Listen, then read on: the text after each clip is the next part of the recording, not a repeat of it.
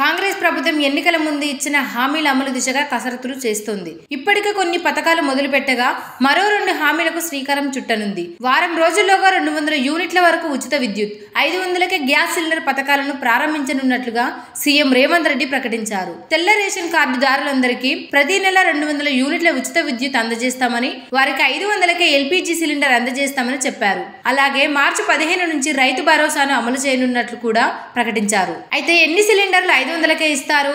ఎన్ని తీసుకుంటే అన్ని సబ్సిడీకే ఇస్తారా అనే సందేహాలు కొందరిలో ఉన్నాయి. అయితే దీనికి గత మూడేళ్ళుగా ఉపయోగించిన గ్యాస్ సిలిండర్ల సగటును పరిగణలోకి తీసుకోవాలని ప్రభుత్వం నిర్ణయించినట్లు సమాచారం. రాష్ట్రంలో మొత్తం ఒకటి పాయింట్ ఇరవై కోట్ల కనెక్షన్లలో నలభై నాలుగు శాతం మంది ప్రతి నెల ఒక సిలిండర్ వాడుతున్నట్లు పౌర సరఫరాల శాఖ గుర్తించింది. రేషన్ కార్డు ఉన్న వారికే పథకం వర్తింపజేస్తున్నారు కాబట్టి ఈ శాతం మరింత తగ్గుతుంది. మూడేళ్ళుగా సగటును పరిగణలోకి తీసుకోవాలని ఇటీవల జరిగిన కేబినెట్ సమావేశంలో ప్రభుత్వం చర్చించనున్నట్లు సమాచారం. అంతేకాక గరిష్ట పరిమితి ఏదీ లేదని తెలుస్తుంది. ఒక కుటుంబం గత మూడేళ్ళుగా ఏడాదికి సగటున పది సిలిండర్లు వాడితే ఆ కుటుంబానికి ఐదు వందల గ్యాస్ సిలిండర్లు ఏడాదికి పది ఇచ్చే అవకాశం ఉంది. ఏడాదికి సగటున నాలుగు లేక ఐదు చొప్పున వాడితే అంతే ఇస్తారు. పథకం అమలు మొదలయ్యాక మూడేళ్ళుగా సగటు కంటే ఎక్కువ సిలిండర్లు వాడినా అదనపు సిలిండర్లకు ప్రభుత్వం ఇచ్చే రాయితీ వర్తించదు. వాటికి పూర్తి మొత్తాన్ని చెల్లించాల్సి ఉంది. ప్రస్తుతం సిలిండర్ ధర తొమ్మిది వందల అరవై కాగా కేంద్రం నలభై సబ్సిడీగా ఇస్తుంది. ఈ రాయితీ సొమ్ము సిలిండర్ తీసుకున్నాక బ్యాంకు ఖాతాల్లో పడుతుంది.